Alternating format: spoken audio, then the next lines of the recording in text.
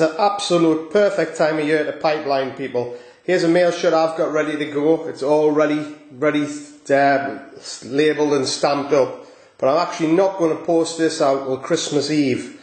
Uh, the reason for that is that it landed the perfect timing to catch people's attention. If you do it this time of year at the minute, which is just before Christmas, people are just full of Christmas and that's all on their mind.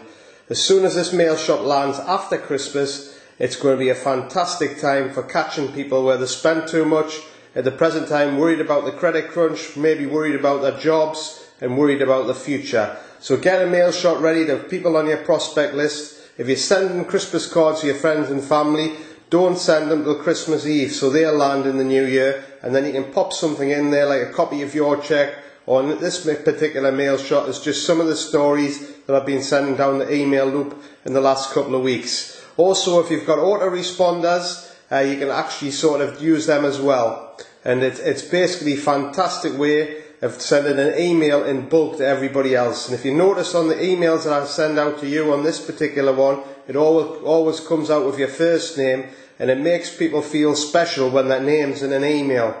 Uh, so I'll, I'll show you this in a second, the company you get it from, and there's a, there's a free trial on there and it is very a bit complicated to set up but what they've got is a fantastic service centre which is over in the States or Canada whoever you actually phone. And their hours of opening is absolutely perfect for the UK if you're doing Kleeneze park time because they open about 2 o'clock in the afternoon UK time and shut about 2 o'clock in the morning UK time. So absolutely perfect to phone them up. If you get stuck phone them up and they'll just talk you through where you've actually got up to. So apart from the, the autoresponder being used for email loops, it's fantastic for capturing people in that come through your website by just putting a form on the back end of one of your landing pages on the website.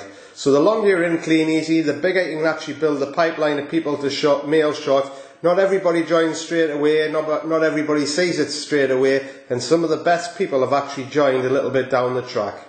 Inside the autoresponder. Looks very very complicated uh, but once you when you know how it works it's so so easy and it's so efficient. There's a few of the leaders in Kleeneze really using this to massive potential now. Uh, but this is a bit if you can see where my mouse is there uh, on, on that page it's uh, try get try it try for free or sign up for free. Uh, you can click in there or we'll go actually we'll click on there and see what actually happens. Uh, get your free account um, so you basically just set up. Um, the free account doesn't do anything like what the new account is.